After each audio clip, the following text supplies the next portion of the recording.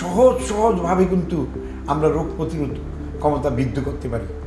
যেরকম ধরেন, আমার সকালবেলা ঘুম থেকে ওঠে আমাদের বাড়িতে যদি একটি পেয়ারা গাছ থাকে, আর পেয়ারা গাছে কচি পাঁচটা পাতা যদি কোনো ডায়াবেটিসের রুগী প্রতিদিন সকালে খায়, আলহামদুলিল্লাহ তার জীবনে অন্য কোনো, শুধু ডায়াবেটিস টাইপ টু বাদ দিয়া আর সব ডায়াবেটিসের জন্য কচি পেয়ারা পাতা, কচি আম পাতা ডায়াবেটিসের একটা মহা ওষুধ।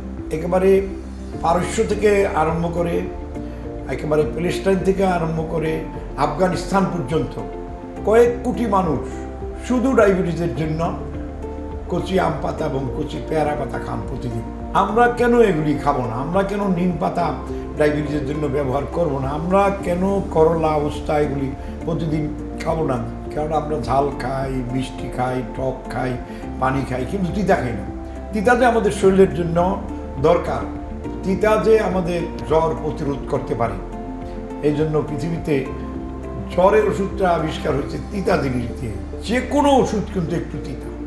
পৃথিবীর প্রায় ষাট পার্সেন্ট ওষুধই কিন্তু তৈরি হয় গাছ থেকে, ভেষজ থেকে। অতএব সেই ক্ষেত্রে আপনি ভেষজকে বাদ দিতে পারবেন না।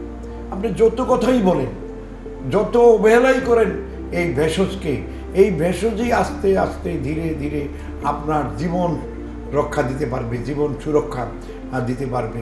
জীবন সাজাতে গাছ, জীবন বাঁচাতে খাদ্য, জীবন বাঁচাতে ফল, শাকসবজি, ফলমূল, এগুলো কিন্তু আপনি ভুলে গেলে চলবে না।